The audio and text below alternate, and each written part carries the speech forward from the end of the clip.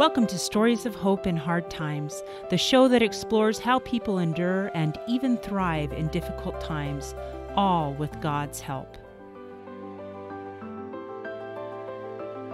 I'm your host, Tamara K. Anderson. Join me on a journey to find inspiring stories of hope and wisdom learned in life's hardest moments. My next guest has been married for 19 years and has four children ages 17 to 3. She has lived in Utah, Wyoming, Texas, and is now back in Utah again. All of her children have severe food allergies and eosinophilic esophagitis or eosinophilic gastroenteritis. Those are a mouthful. They're also known as EOE or EGE. This sparked a joy and a need for baking and cooking in her home. She also loves to work in her garden. An interesting fact about her is that she and her family were on the show Random Acts and had a bake off with the Random Acts crew, which I must say they won. I am pleased to present Suzanne Earl. Suzanne, are you ready to share your story of hope? Yes, I am. Thank you for talking with me today. On a personal note, Suzanne and I met when our families lived in Texas. And when I found out that I did not tolerate wheat very well, she taught me how to make a gluten free mixture before it became a thing that you could buy at the store. So uh, she is like the baking queen. She knows the science of baking. She's had to learn this because of her children and she is just amazing. So I consider her a wonderful and great friend. We're excited to have you today, Suzanne. And I just have to ask how in the world did your family get on TV? Tell me that story really quick. that was really fun. It was such a special experience. So, my older daughter, Christine, got onto a website and she nominated her little sister, Brooklyn, to be a random acts recipient mm. um, because she knew that we we love baking shows. I read lots of cookbooks and I watch baking shows like I'm taking a college class. I pay attention to all the science and every little thing that they do, and I learn new ways to do things. So, and we like to quote, especially um, the British Baking Contest or the oh. British Baking Show. We quote that all the time. So, but we always knew that something like that Brooklyn could never do because she's just allergic to too many of the ingredients. So they set up, they called and they said that they would like to do it with Brooklyn, but I had to get involved with it so that they could make sure all the ingredients were safe. And um, I provided most of the ingredients from home, and they went and bought some of the ingredients that we felt like they could buy. And they did it in their studio and they built a kitchen inside their studio so that we would have a safe place to bake. Wow. That's and amazing. all the ingredients were safe for her to use. So it was really an amazing experience. It was really fun. That's so fun. That's so awesome that yeah, it really was really very fun. we'll for sure have to put a, a link in the show notes to to this episode of Random Acts so that people, if they want to see that episode yeah, with go watch the it. family, uh-huh. would, yeah, that would be really fun. That would be really cool. So let's kind of go back into your story. You got married, and here you were ready to start a family, and just the process of starting your family didn't go as you had thought or planned. Why don't you no. talk me through there? Let's start there. And it took us a few years because it turns out I have polycystic ovarian syndrome, but it was kind of asymptomatic, so I didn't know I had it. But my body doesn't normally ovulate. Oh. So I had to take um, a lot of medications to get my body to do that. So it took a, a few years to figure that out. And so with each of my kids, well, each of my girls, uh, my first two girls, we did that, and it was. It's always kind of hard because when you're working with your doctors and you're thinking we want to have a baby, it takes a lot of appointments mm. um, to do that, and medications, and watching your your levels and things. Um, and then we we did get our two girls that way, and then my son was a complete surprise. Oh. So because I normally don't ovulate, I never had you know regular periods, and so I was 15 weeks pregnant when I found out with him. Wow. Yeah. So, and then two of my kids, he was born a preemie at 35. So it was a very short pregnancy for me. and then my last one, um, the doctors wouldn't give me any more fertility medications. Hmm. And so we knew that we wanted another baby, though, but it took us um, 10 years of trying to get her until we finally moved and finally found a doctor that was willing to work with us longer. Um, and I was able to get some of those medications again. And we did get pregnant with twins, which was really fun. But unfortunately, we lost one of them about 12 weeks. Oh. Which kind of sparked a, a, almost a race to keep our, our last little one. So it was a lot of shots and a lot of bed rest and a lot of appointments, a lot of stress tests every week to make sure everything was going well. And she was also born early, but she made it. And so now we have our four kids. That is quite a labor. And once you got them here, it wasn't as easy either, right? no, because I couldn't feed them. oh my goodness. So this whole process is it just blows my mind because most most babies, you know, you nurse them and they're fine, and you start, you know, start them on rice cereal and everything is great. Mm-hmm. So, why don't you tell me how that looked for your family?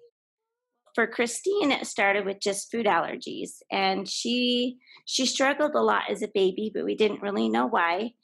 Um, and then when she was about 15 months old, she was playing with a granola bar just that that my husband had set down on the coffee table and she just broke out in hives from head to toe. Wow. And so eh, and that was when we were very first introduced to the world of food allergies oh yeah. in general. So she was allergic to peanuts at, with that. And it seemed from there they were just gaining allergies. They didn't ever grow out of allergies like you heard hear a lot of. It just seemed to get more and more and more. We just found more and more things mm. that they she was struggling to make her sick, and we started carrying EpiPens and going to lots of allergist appointments and learning how to cook a lot once we had to take out egg and dairy and soy and corn and oats. That was the first one. Wow. And realizing there's very little you can buy for a toddler at the store. Yeah. Without all those things. And so, you know, to survive, we had to figure out how to cook and what we were going to make. Wow. And it, yeah. And then when my second daughter, when she was born, and she actually did pretty good until she was about two. And then she just started dramatically losing weight and just throwing up, and she cried all the time. Oh. And we had doctors telling us, well, she must be allergic to foods. And we said, well, we're pretty aware of food allergies and we've had her tested, and soy came up, but that was the only thing that came up. Now, was this a blood test or a skin we test? We do blood tests and skin tests so that we mm. can get a bigger picture. And um, they kept saying, well, it's something you haven't tested yet, something you haven't found. And I remember I got just so desperate one time because I she was at my parents' house for a barbecue and she ran up to my dad and she touched the outside of the grill and she burned her hands really badly and she didn't even cry. and I thought if she's hurting that much inside that she doesn't notice that on her hand, she's hurting all the time. Mm. And so um we started getting, you know, going to more doctors and things, trying to figure out what was going on. And I had a good friend in Texas say, That sounds a lot like what my son has. And it was called eosinophilic esophagitis. Mm.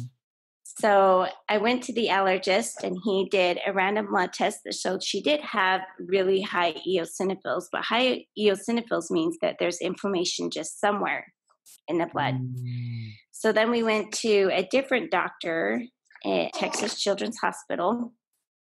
And he came in and I started telling him what was going on. And he said, Don't tell me anything. And I, I was kind of confused. And okay. he said, Don't tell me anything these doctors have told you because if they were right, you wouldn't be here. Mm-hmm. And I said, Thank you. So that was the first, that was one of her first endoscopies was that, and they did find the eosinophilic esophagitis, which is eosinophils in the esophagus. and then the eosinophilic gastroenteritis, which is in her stomach. So it's basically inflammation of the esophagus and the stomach. Yeah, the esophagus and stomach, yes. And it's caused by the food you're eating. So the purpose of an eosinophil is it's a white blood cell that fights parasites and oh. viruses. It thinks that when you're eating food, the food you're eating is attacking you. Oh so it fights back with white blood cells. It's wow. weird. and so, but what happens is these white blood cells all gather together and they cause inflammation and pain. But if they reach the surface, which is called the granulation, they actually release toxins, which will make you very, very sick. Oh my goodness gracious. And so this is what was happening. This is what was happening. Yes.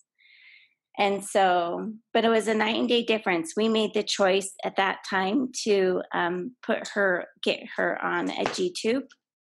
So okay, why don't you describe what that is? So, a G tube is a feeding tube that just goes straight into your stomach mm-hmm. and has a little port on the outside that you connect tubing to so that when she was fed, it would go straight into her stomach.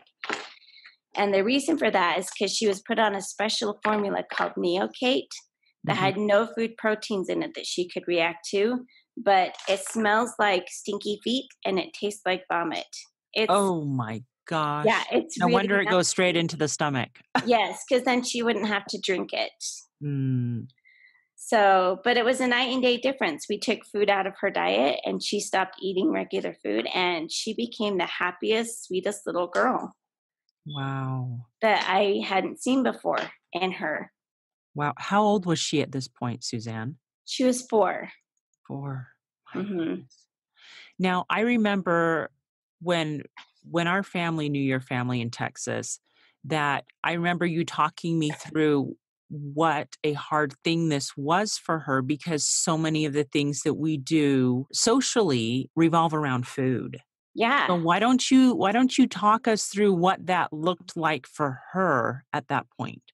Well, you know, it's hard because she's in kinder. She was in kindergarten by the time she got her feeding tube. She was diagnosed at four, and I remember her when she when she was put in kindergarten.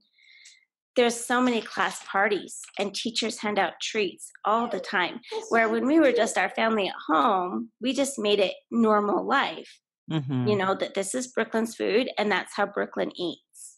Mm-hmm. And during that time, you know, from when she was diagnosed to getting her feeding tube is when my other daughter was diagnosed as well with her food allergies. And then Brooklyn started gaining food allergies as well. So she has both food allergies and the EOE and EGE. So, but with my kids being little, we just made it a normal thing at our house that right. this is this person's food and this is Brooklyn's food and this is mom and dad's food and we never share and that's okay because everybody eats a little different. Mm-hmm. But when she went to kindergarten, that's when things really started changing because everyone was in the lunchroom eating all the same foods. And there were class parties, and she couldn't participate in the snacks. And parents brought in treats for birthdays, and she couldn't eat any of them. And that's when I think it first became hard for her. And we had to start kind of hitting more that everybody has trials and things that they have to go through. So just because her friends were eating foods didn't necessarily mean that they weren't dealing with something on their own. Mm, that's so, a, that's a pretty tough concept for a kid in kindergarten to figure out. It is, yeah. But we, whether good or bad, we actually know a lot of people with lots of other disabilities. I have a niece with cystic fibrosis Mm-hmm. Um, we've had, you know, friends that have had cancer and things. So we would we would point that out. You know, we'd say, look at look at Alyssa. She has cystic fibrosis, but she doesn't have food allergies. Mm. Or look at TJ. He's missing a foot, but he doesn't have food allergies. But you have two feet. And so pointing out the difference in people and things that she could see helped her become very empathetic towards other people and the things that they were going through. Mm. What's cool about you learning how to teach this concept to your children is that you've now incorporated this into a book. In fact, Suzanne's book, The Climb, will be released towards the end of 2020. So if you have a child that you are trying to explain this concept of everyone has challenges, they just look a little bit differently, watch for Suzanne's book at the end of 2020, The Climb. I have always loved your creativity, Suzanne. and I remember you got very creative. In fact, I remember you telling me about a birthday party you had for her and you made like a paper cake. yes. we made, but it was like the slices were like little boxes and that all together formed a cake. And inside, we just put little non food treats and prizes. So you really had to get creative and think outside the box, not only for stuff like birthday parties, also for for cooking you had to figure out ways to oh, bake for a family that where everybody had allergies. Yeah. Sorry, you should know that all these cute little noises in your in the background is my cute little 3-year-old. Brooklyn has food allergies and the EOE and EGE, and my older daughter Christine has the food allergies and EOE. And then my son, he actually is allergic to, um, it sounds weird, but it's ibuprofen, but it's salicylates. Oh. So ibuprofen and aspirin is made from salicylic acid. Yes. It's the man made version of what naturally occurs in food that is anti inflammatory in your food. So it's actually a lot of your most healthy foods, unfortunately, are full of oh. salicylates and they will make him very sick. And if he gets enough of them, he'll have an allergic reaction to that. So he has a whole different set of foods. And then my youngest, even though she's only three, she's already off of wheat and dairy and potatoes and carrots and apples. And we don't know 100% why yet. oh, wow. That is just a lot to take in. So let me pause right there and just ask you what was going through your mind with all of these diagnoses? I mean, I can imagine that my thoughts would have been one wasn't enough. How about two? What about three? All of my kids have food mm-hmm. allergies. I mean, was there ever a point where you're just like, "Dear God, what are you doing?" what, what, what was going on? That was really what I was thinking. But what what was going through your mind at this point?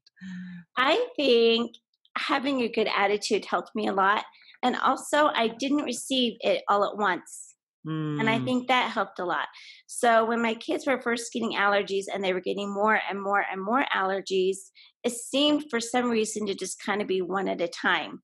Mm. We never received this diagnosis of, oh, now you have 10 things you're allergic to. Um, it kind of built, it built gradually on us. But I can remember a time when Brooklyn was first diagnosed and I, I sat and I cried because mm. I was like, I don't even know how to go forward from here. There's so, and she didn't have her feeding tube yet. And I was just told she's going to need to not eat any food. And this is a formula. And they sent us home with the sample, and it was so awful. Oh. And I thought, I can't even give this to her. I wouldn't even drink it. I can't imagine anyone drinking this. It's oh. so nasty. And, um, but you know, to make the decision to get a feeding tube put in, we had no idea how long that was going to last either. Right. So you know you're looking at a very long term solution and i i sat and i cried.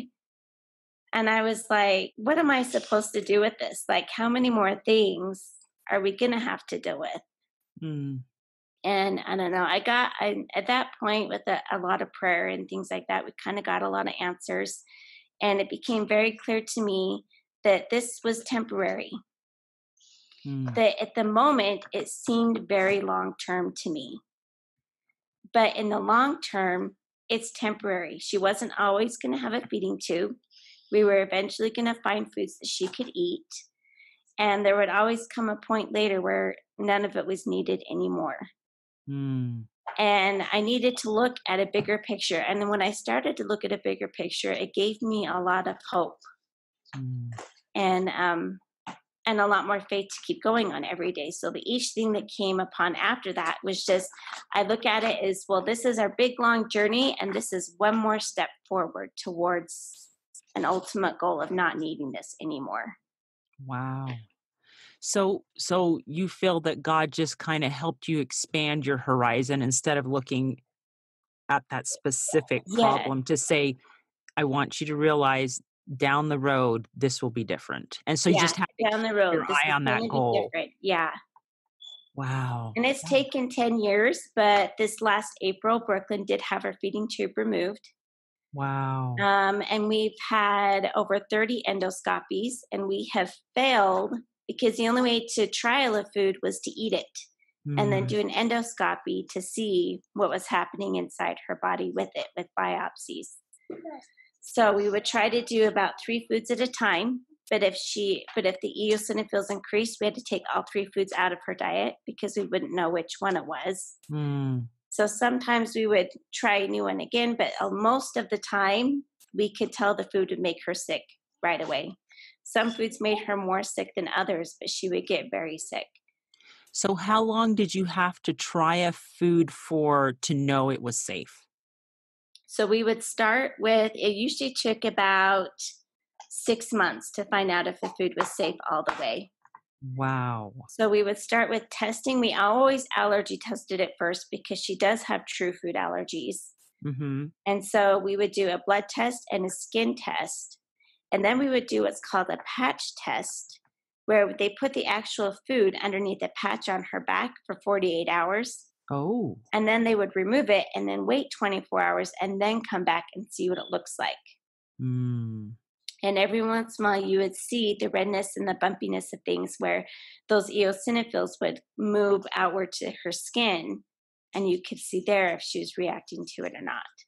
And so then you just eliminate. You didn't even try those at that point. Yeah, we wouldn't even try those. If she reacted on any of those, we didn't even try those. But unfortunately, it, it gave us a better direction, but it wasn't a guarantee. So then she would have to eat the food. And if she ate it for about, I would say about a month, and she did fine, then we would move on to the next food Mm. and you would start and so about every we would try to do that and it usually would take us about six months because some foods would make her sick and if they'd make her sick it usually took her about a month to recover enough that we felt like she wasn't react having any more reaction in her body from that food. And then we could try a new food. So Oh. in, yeah so some give or take it usually takes us about a six months between endoscopies where we would where we'd say we finally think we have three foods that are Mm. good and then sometimes we would find out nope your eosinophils have increased. There's still something you're reacting to and sometimes it would be great and we would add those foods to our this is a safe food list Wow. So, how many foods can Brooklyn eat now safely? so she had her feeding tube while we were doing this we're still trialing now Sure. Um, but right now she has 22 safe foods, and that includes items like sugar and salt, baking soda, um, and things like that that don't have any food proteins in them all, and some flavorings like mint um, and maple flavorings, because everything has to be tested. So she has 22 So spices. Yeah, everything. spices. Yeah. So she just she passed nutmeg, but she did not pass cinnamon. Mm. Who knows why? so she has 22 foods that she can eat and about 83 that she can't. There you go. But this is, like you say, this is a journey. And so this is a journey. Yes. you are constantly testing to see what food you can add. Yes. Okay, so this helps our listeners gain just a little bit of appreciation for learning to bake with limited ingredients and why this bake off was so challenging for the Random Acts crew because you really only have a sh- small, small window of foods that you can. yes. And they're foods that you're not used to using, which was interesting for them. Yeah. So why don't you talk me through an example of of um, of a meal that Brooklyn can eat now, Um, and what you have to do to prepare that? it'd be more like for my family. I, I kind of can't cook for everyone in my family all at once. Mm, So I make big batches of food and we stick things in, in the freezer and in the fridge so that I can focus on who am I feeding for this meal. And then whoever can't eat this meal can get something from the fridge or the freezer. gotcha. because okay. I can't feed everyone at the same time. But one of the things we do try to do is spaghetti. Mm-hmm. But spaghetti at our house is kind of laughable, but we do it anyway because it's something everyone can eat, sort of. Okay. sort of. so we have two pots. We have one pot with regular noodles, and we have one pot with rice noodles. Okay. And we have to make sure we keep our colanders for straining and our stirring utensils separate. Mm. So Brooklyn can have the rice noodles, and my youngest daughter has the rice noodles, and everyone else can have regular. And we all could have rice noodles, but it's more expensive to do so. Yes, it is. They're expensive. So we try to keep those to just the two that need them. And then we make just a pan of hamburger mm-hmm. um, separate so that everyone can have hamburger, but it can't be mixed into things. So, and then we have two different sauces. We have one sauce that has things like the spices and things in it, and one sauce, one sauce that's just tomato and salt. And then we have cheese for those who can have cheese, but not everyone can have cheese. So, in general, it's a lot of dishes, but somebody should be able to get something to eat. Wow. That is unbelievable. That blows my mind. Seriously, you have the patience of Job. yeah, I know. you, you've had to gain the patience of Job. Let me put it that way, because I'm sure at the beginning you're like, what the heck? yeah. Lessons learned from all of this craziness. You've mentioned that everyone has trials, and mm-hmm. that's something that you started teaching Brooklyn when she was five and had to have the feeding tube. Everyone has trials. Yes. They don't look the same. Not all of them are visual trials, right? Yes. Um, what are some of the other lessons? So one thing that we we really learned is that not only do our trials make us human, but they make us normal. And so my kids have learned that even with a feeding tube or a different food things, that doesn't make them different than anybody else. Hmm. And Brooklyn was in PE one time, um, and they were changing clothes, and a girl looked at her, and she says, "What is that?" Pointing mm-hmm. to her feeding tube.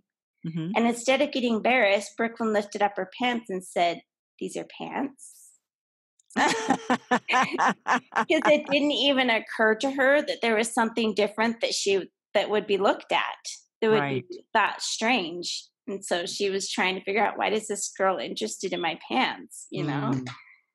and i was so proud of her for that you know that mm. she didn't see anything different between herself and the girls next to her mm-hmm. You know and changing and things that it was um that it was just she just knew that she was that's the way she was and other people were different and that's okay that's what makes us all unique and special. That is awesome. I remember when we were in texas together you taught me a lesson that i actually included in my book normal for me about lemons and lemonade. Do you mind sharing that lesson oh that's a simple lesson. We hear a lot but um we was teaching my kids that you know you hear a lot that if life gives you lemons make lemonade. Mm-hmm. um, so we would look around at people to say well you can't make lemonade without sugar. So look around you and see what's the sugar. Do you have a helper in your life? Do you have a good friend? Do you have a parent? Do you have a uh, a teacher at school and those are the sugar that helps us turn lemons into lemonade Mm. Because mm. without sugar, you wouldn't have very good lemonade. no, you wouldn't. It would be awfully tart. It'd be kind of gross. I know, right? Yeah. It's so true.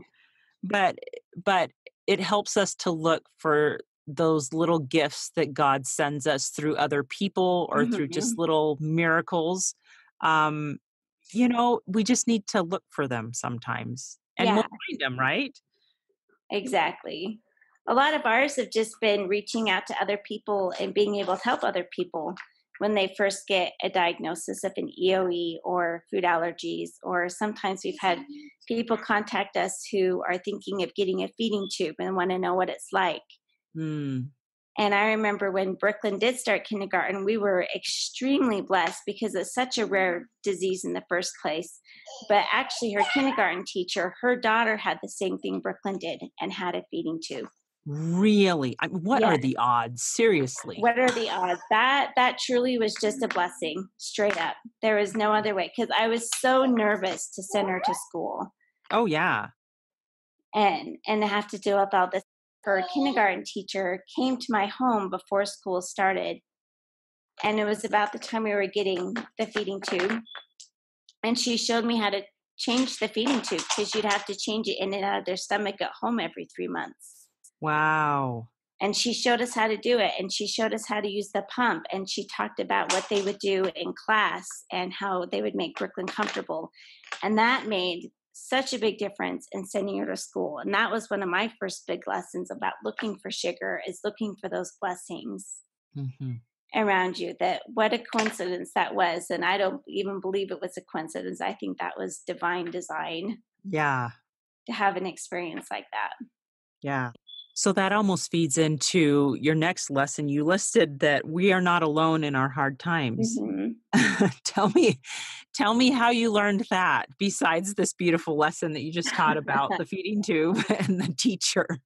Well, I was surprised when we started talking to people about our trials, and they would say things like, Oh, I know someone with this allergy, or I'm allergic to this, or I've been finding that this is a problem, and how we were able to help each other. Mm. And it seemed that it didn't even matter if it was a rare disease or with food allergies or whatever it was, it didn't matter. It's people seemed to come out of the woodwork. And I actually, my sister described it to me like this. She said, sometimes you just feel like you're drowning in just everything, everything that's going on. You're you're just drowning in it. And when someone comes up to you and says, I know how you feel, it's like taking a breath of air. Mm. You're coming up. It's like you can breathe. Just because you don't feel like you're having to explain yourself to somebody all the time you know, no, we're not going to share our food. No, we're not going to come to this party. Or yes, we're bringing all our own ingredients or our own food. And it just sometimes feels like there's a constant run on of explanations. Mm. And it's like a breath of fresh air when you can talk to somebody that just says, I know how you feel. Yeah. And it's like you can just breathe. You can just relax and be like, I don't have to try and explain everything today. Yeah. and i think even even if it's not the same trial just just the fact that somebody comes to you and says i know how you're feeling That is beautiful. That is so, so amazing. And I found that to be true too. It's just nice. Um, like when I meet a fellow parent with kiddos with autism, you don't have to explain why your child is flapping their arms and waving it in front Yeah. of a, a, an mm-hmm. object that is doing a repetitive motion. They just love it and they're stimming in front of it. And you kind of look at each other and you kind of do like a fist bump or something because you're like, I don't even have to explain my son to you because you totally get it.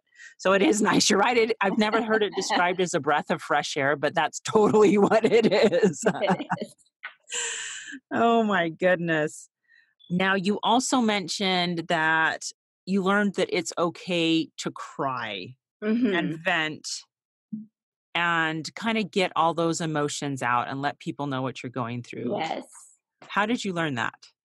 well and actually that was also for my sister about the same time we were talking about it being like a breath of fresh air um, we moved to utah and about the time we moved to utah her son had also been sick and was also recent and then was diagnosed with food allergies and eoe Mm, And the first thing she did was call me and she was crying. And she said, I don't know what I would have done if I didn't have you here to talk to about it, just to simply talk, mm, not to solve the problem, not to tell her that everything's going to be okay, not to tell her that it's not going to be hard, but just to simply be there, someone to listen to and have one say, I know how you feel. And sometimes you just need to cry a little. And I think, especially as moms, we bear a lot of the burden of putting a smile on our face through trials, mm, especially for our kids, and in teaching them that everything is just fine and everything's normal and that it's, you know, we're going to make it through this, you mhm. know, and, you know, we failed another food.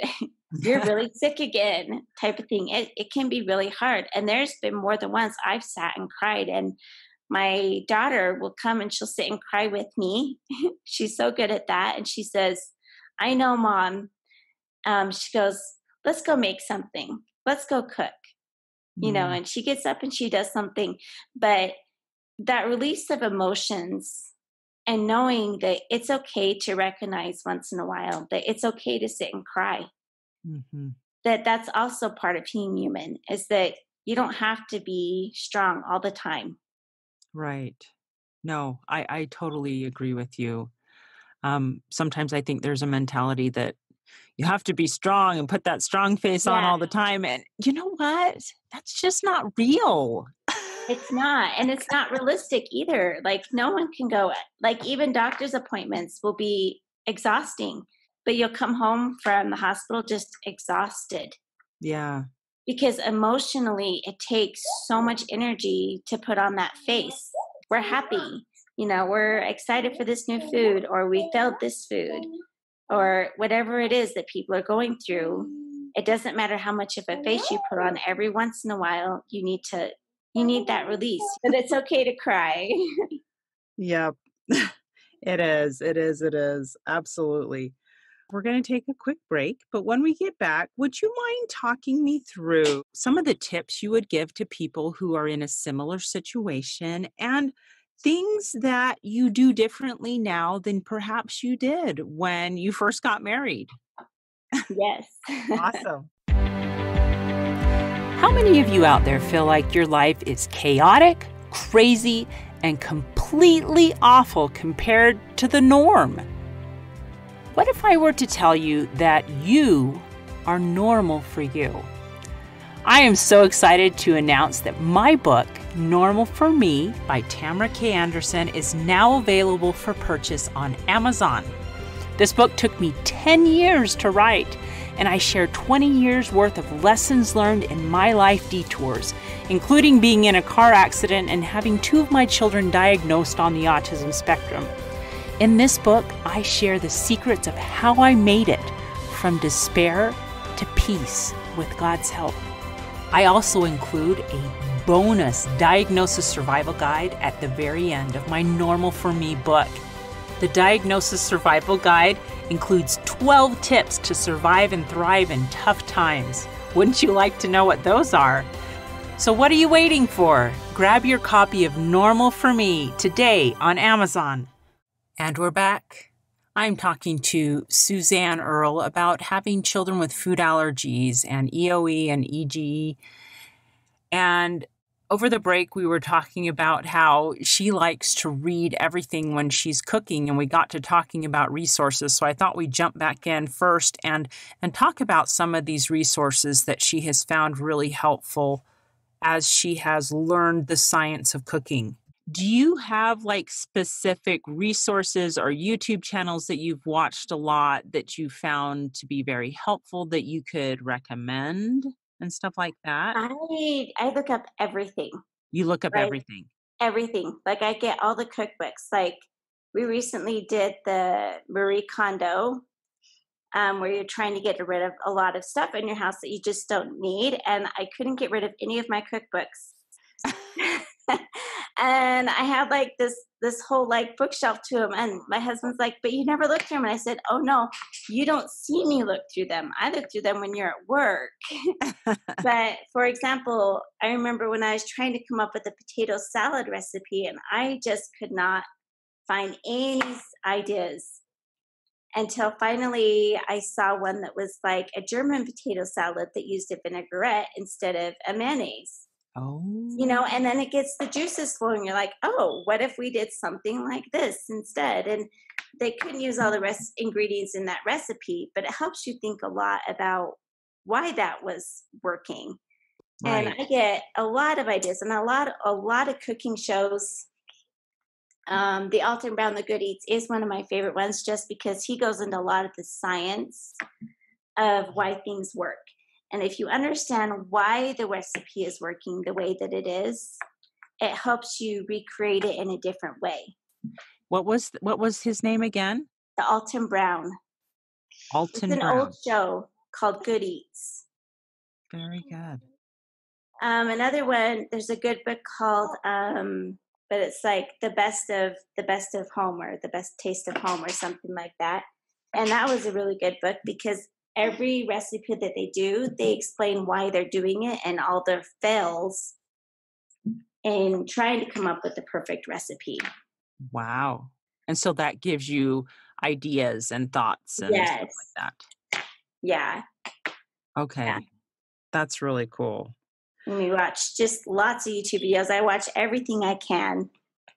So so YouTube is a great resource. YouTube is a great resource because there's lots of people much better than me at doing things and especially at posting videos that mm.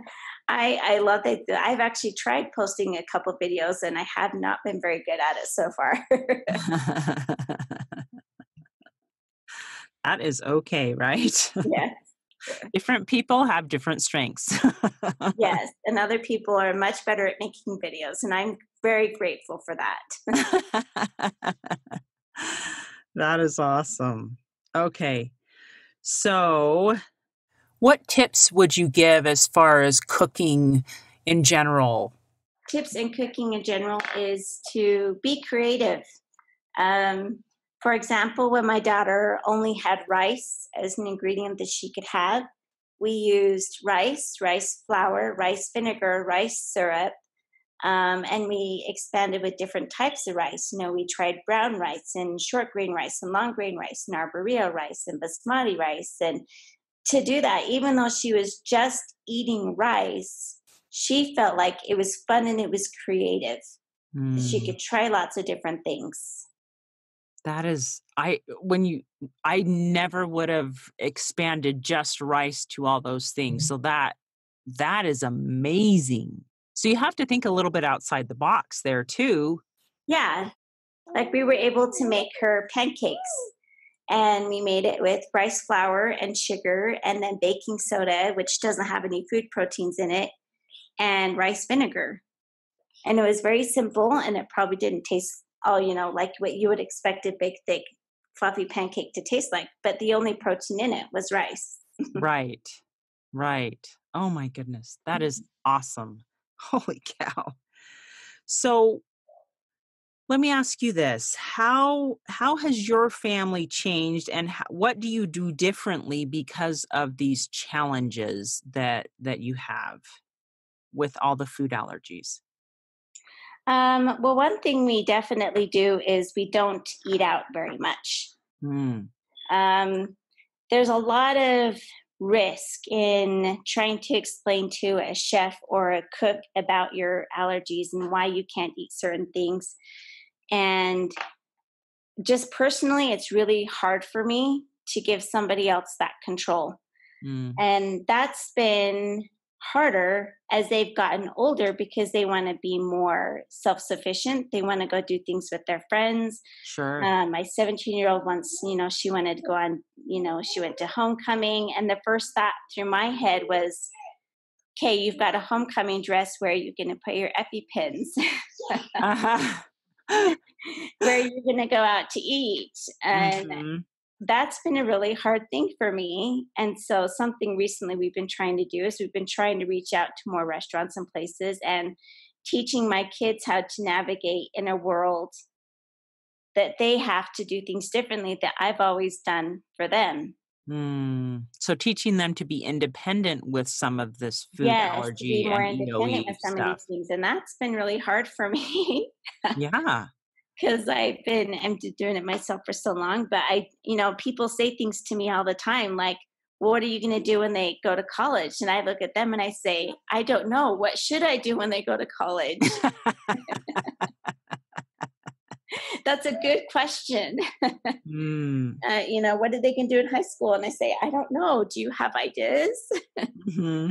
um, so that's been a big thing. Is I've had to reach out to other people a lot more lately and I've had to let my kids be their own um, self advocates lately. So that's something we've definitely tried at school this year. Is I didn't do training with the teachers this year. Um, my girls did their own training, mm. and that was hard for me. But it's very good for them to learn to navigate with themselves in a way that they're still living at home and I can come in and I can help where needed. Right. But but they're still but they're still learning to do things on their own. Right. Wow. That's that's amazing. That really, really is. yeah. And I think I, you know, when you contact me and I thought about it, one thing we also do is we don't get invited places very often or to Mm. friend's house or to go eats or even birthday parties. Um, my friend, you know, our, my girls never really got invited to very many birthday parties or, you know, play dates, sleepovers, things like that. They just, because it was always scary for a parent to invite them or they're wondering what you're going to eat or if you're going somewhere, we're bringing all our own food. And so we would invite people to our home often Mm. you know, come have dinner with us or come to our birthday party because we wanted people to know that we understand that it can be scary to invite us places and we may not even feel comfortable everywhere, but that doesn't mean we can't be friends Mm-hmm. and we can still do things. We just maybe have to adjust it a little bit. Or maybe do an activity that doesn't involve food, which is hard because nearly everything involves food. Yeah. So that's something we try to do. Brooklyn likes to invite her friends over to cook at our house often. Mhm. Because you know where the ingredients are coming from and it's safe. Yes, and that they're safe. Yes. So she can still have fun and do things with their friends. It's just in a little safer environment. Right. That's that's admirable and so amazing that you guys are able to do that. It really really is. Now, you mentioned also that some of your resources or things when you're feeling down is you listen to heart songs. Yes. Why don't you explain to me what those are? Well, I can remember one time um, my oldest daughter had a really, really bad allergic reaction, and we had to take her to the emergency room. And they were putting her on all these machines, and they were giving her EpiPen shots, and it was really very scary. And I couldn't be in the room with her because I was Mm. eight months pregnant. Oh. and they had all Oh, these machines and they were going to try and x-rays of her lungs and things and i just remember how heartbreaking that was to watch outside the room and i just felt just kind of lost. And and then later we were listening to it was a song that was the the breath of heaven. Mm, and it just spoke to me because i was like that's what i feel like. That's mm, something that I can understand because that song, in a way that I think music has a way to speak directly to your spirit. Mm, that words can't. Mhm. And there's a difference between somebody telling you everything's going to be okay and actually feeling that deep in your heart with the music. And so every once in a while, it doesn't happen very often, but every once in a while, there's a song that, you know, that just pops up that, you know, you're like, yep, I know exactly what that feels like. So, And- do you have like a playlist that has your heart songs on it for those days when things are just awful? I actually do. And it's on my iPad, which the whole screen is cracked right now, so I can't pull it up. and to get that fixed because I'm actually not very good at remembering the names of the songs and the authors and things. My brain is like, I tell my kids, my brain's a big bucket of of rocks, and there's water in the rocks. And if you put in new rocks, water falls out. I'm like- so I'm like, I have big things I have to remember, and all the rest of it just washes away. So if you want me to remember something new, something else has to wash away. So, I'll tell you what, why don't you send me a list of your heart songs? yes, love will do that. and we will put it in the show notes so that people can find that and listen to those as well if they are having a hard day. yes, exactly, because they are good songs, and they and they speak. At least they speak to me, and that's Yeah. why I call them heart songs, is because they're the songs that touched my heart. yeah, absolutely. Yeah. So, what resources would you recommend to somebody who is just coming into a food allergy or an EOE or an EGE diagnosis? What would what would you say to them? I would say um, hop on the internet and look up Facebook groups. Facebook groups connect you to people everywhere. And that's kind of like where it's you know the term coming out of the woods or whatever you know like they just they come out of everywhere. All of a sudden you're like oh, there's hundreds of people that know about this and are dealing with this every day and some are newly diagnosed like me and some are and some have been dealing with this for a long time. But not only do these people know how you're feeling but they have lots and lots of ideas and resources for you about which doctors they see or what kind of formulas they've tried or how they've tried this ingredient. Um, and especially for food allergies, it's been really good to find things that every once in a while there's a food that's not labeled correctly. And that'll be the first place we see it. Mm. That they'll mm. say, I went to eat at this restaurant, or I ate this food and my son had a reaction, or my daughter had a reaction. And you, it puts everyone else on warning to know not to try that food until things are cleared up. Right. That's awesome. So your first go to is finding those groups, yes, on Facebook or other groups where there are people that have been there and done that. A, it helps you not feel so alone.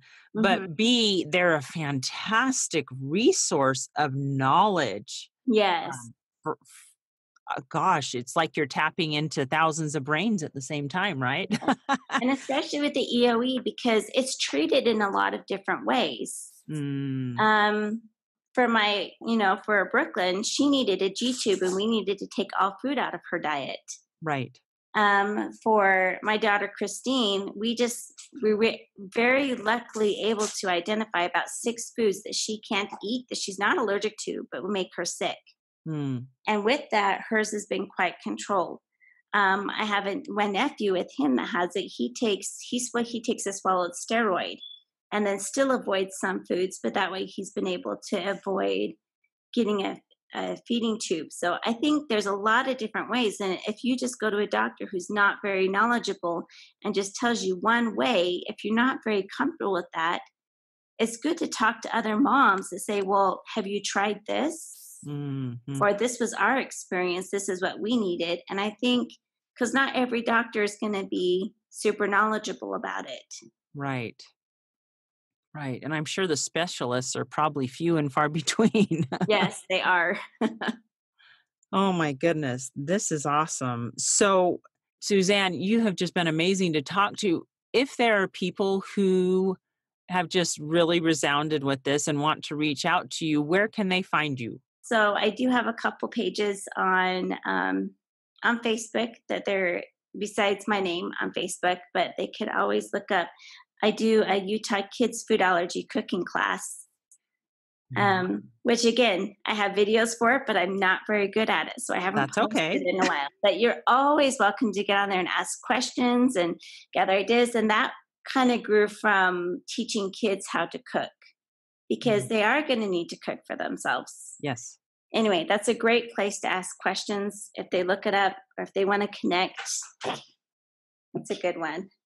Awesome. So your page is Utah Kids Food Allergy Cooking Class. Yeah. And you have long. one other page, right? The other one is just called the Bread Lady. Just the Bread Lady.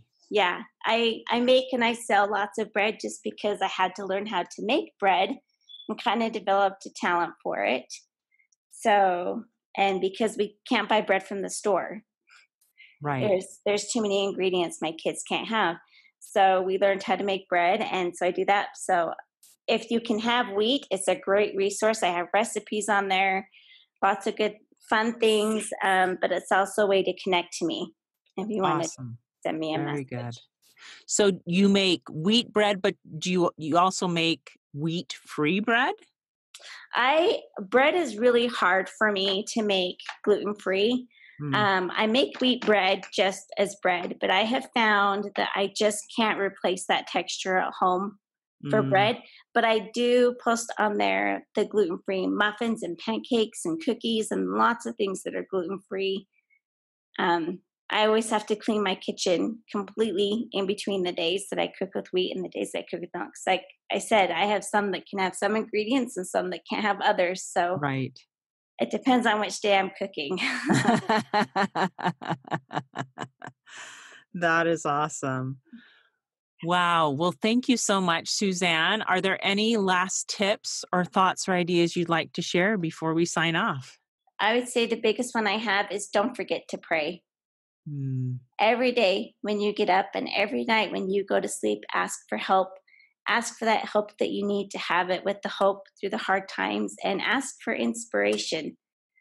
A lot of the ideas I have for food and ingredients come while I'm asleep because that's the only time I think God can communicate with me best is when I'm not too busy. Mm. And I think saying those prayers before I go to sleep and in the morning asking for inspiration has made a lot of difference in my life. Yeah, I bet it has. How have you found that he helps and comforts you besides giving you inspiration? Um, I think, like we we kind of talked before, the knowledge that the things that we're dealing with in this life are temporary, and that Tamara was something that especially you taught me when we Mm. lived in Texas. It's always helped me. And I remember you quoting one time that somebody said, God won't give us anything we can't handle. And you looked at that person and you said, That's absolutely incorrect. and you said, God's not going to give us anything we can't handle without his help. Mm. And that's been true every day of my life. And every time I go through something hard, that's what I draw back on is that God's not going to give me anything I can't handle with him and so with his help and that I need to draw on that and I need to get strength from that because that's what the atonement is for and why you know we were sent here on this earth is to learn and grow but not do it alone Yeah, absolutely. Oh, well, I'm glad that you you found some help Yeah. with that, and I have found that statement to be true. yes That is awesome. Well, thank you, Suzanne. This has been so amazing and wonderful, and my heart just goes out to you and your family. I st- it still just blows my mind that you handle all these food allergies and cooking and learning all these new tricks and trades with such amazing optimism and just hope. So, thank you for sharing your story. Hey, thanks so much for listening to today's show. I know that there are many of you out there that are going through a hard time, and I hope you found things that have been useful today as you listen to the podcast. If you would like to access the show notes from today's podcast, visit my website. It is storiesofhopepodcast.com. That is where you'll find favorite quotes from today's episode and shareable memes. And those are fun because you can share them with your friends on social media. You will also find the links mentioned throughout today's episode so you don't have to remember what those were. And also all the tips that were shared. Sometimes tips are shared so much throughout an episode you forget what were those great things. So go to the show notes, storiesofhopepodcast.com, to look up these fantastic resources.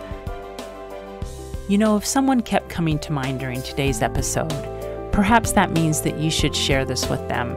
Maybe there was a story shared or a tip that they really, really need to hear. So go ahead and share this episode with them.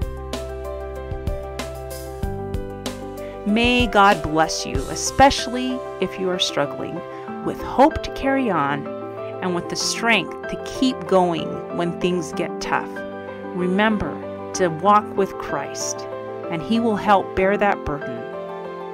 Above all else, remember God loves you